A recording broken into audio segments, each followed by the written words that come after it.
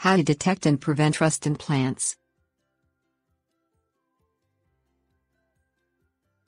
Rust is a fungus characterized by orange-brown, powdery blisters or pimples found mostly on the undersides of leaves and stems, resembling the rust that you find on metal.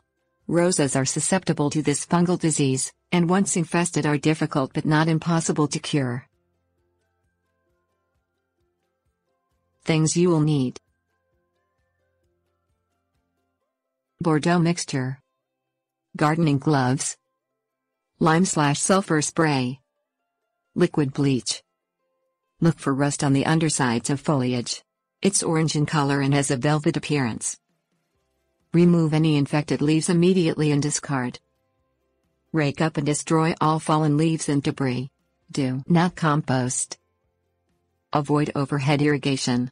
Rust spores are carried back up to the plant by splashing water. Apply water at the base of the plant to avoid splashback. Protect plants from high humidity and heavy rainfall. Place susceptible plants under overhangs or eaves to prevent wetting the foliage. Water in the early morning hours so the plant has a chance to dry during the day. Clean tools used to prune infected plants with a 1 to 1 bleach slash water solution to prevent spread of disease to other plants. Spray plants with sulfur-based fungicides. After dormant season pruning, spray with a lime slash sulfur spray or a Bordeaux mixture to kill overwintering fungus spores. Tips Warnings Roses, hollyhocks and snapdragons are most commonly affected by rust. Keeping the area under the plant clean increases your chances of successfully combating this fungal disease.